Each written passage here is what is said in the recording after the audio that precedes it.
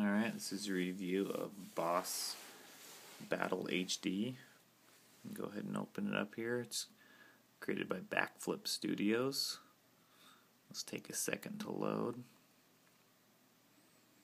Um, some other games offered by Backflip Studios.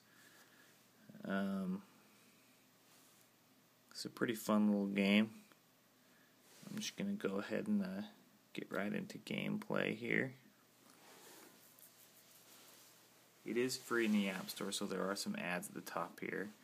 But basically, what you do is you just, you know, you move your finger to move your guy. You got to get the diamonds and um, obviously shoot the little lumps of lava um, without getting hit by them. But the more you can break, the more diamonds you get. Um,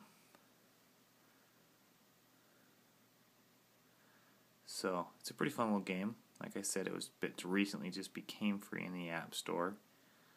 Um, the levels get more difficult as you go on.